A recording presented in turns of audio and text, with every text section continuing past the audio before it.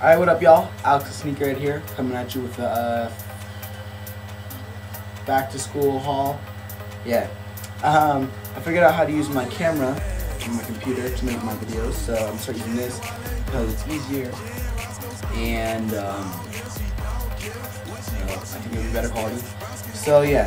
Um, start off first, we got this uh, Obey Obey shirt here half the reason I got this was to match this hat because you know, I got a lot of stuff to match this Miami hat. But you know, I got this shirt too because it's dope. I was about to get the uh, the one with like the whole the whole like shirt and like a, thing in it. But my cousin's like, you can wear that shirt. So I got this one instead. Cause it's you know simple yet nice.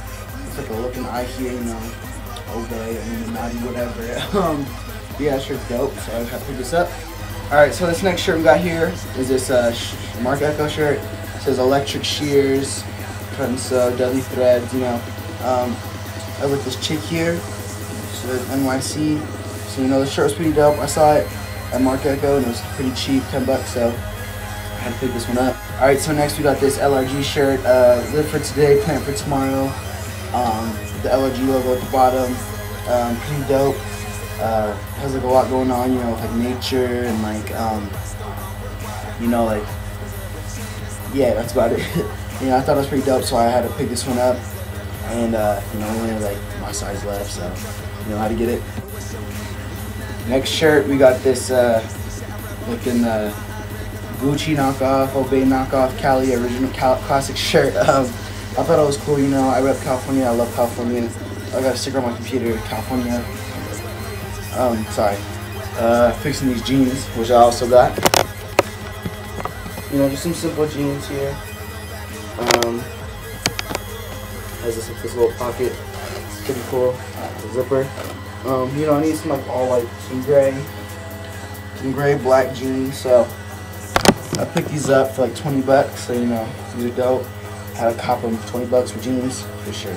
All right, so this next shirt we got is this um, like this Statue of Liberty, like skeleton thing, like outline blueprint looking thing. It's pretty cool.